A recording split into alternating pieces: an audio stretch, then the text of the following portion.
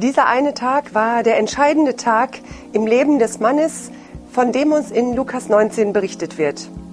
Zachäus war auf einen Baum geklettert, um einen Blick auf Jesus zu werfen. Er wollte Jesus nicht nur mehr vom Hören sagen kennen, sondern er wollte selber sehen, wie er ist. Und Jesus bleibt unter diesem Baum stehen und er spricht Zachäus an und sagt, steig schnell runter, ich muss heute in deinem Haus Gast sein.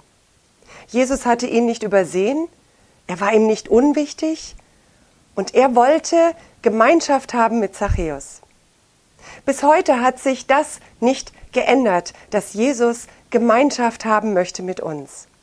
Er möchte mit dir in dieser Beziehung zusammenkommen, in dieser Liebesbeziehung, die die Bibel uns beschreibt. Er möchte, dass du wächst in der Beziehung, dass du da zunimmst, dass du eine Tiefe gewinnst, dass du weißt, er hat ein Bedürfnis danach, mit dir Gemeinschaft zu haben.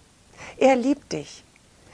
Er möchte alle deine Bedürfnisse ausfüllen. Er möchte jeden Tag mit dir sprechen, jeden Tag mit dir zusammen sein, nicht nur einmal am Sonntag und die ganze Woche lebst du ein anderes Leben. Nein, er möchte jeden Tag eine Gemeinschaftszeit oder eine andauernde Gemeinschaft mit dir haben. Er möchte dir begegnen. In dem Psalm lesen wir, Morgen für Morgen öffnet er mir das Ohr, dass ich höre, wie ein Jünger hört. Er möchte zu dir sprechen, er möchte sein Wort in dein Leben einpflanzen. Er möchte Gemeinschaft mit dir haben.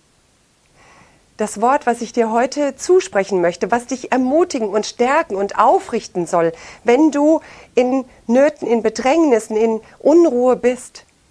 Fürchte dich nicht, denn ich bin mit dir. Habe keine Angst, denn ich bin dein Gott.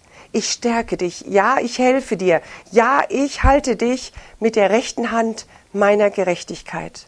Dieses ja Gottes zu dir, das ist heute das Angebot, was er dir macht, in seiner Gemeinschaft auszuruhen, in seine Gemeinschaft einzutauchen, einfach da neue Kraft zu schöpfen, aufzustehen, wieder neu sich an seiner Hand festzuklammern, in der Gemeinschaft mit ihm weiterzugehen.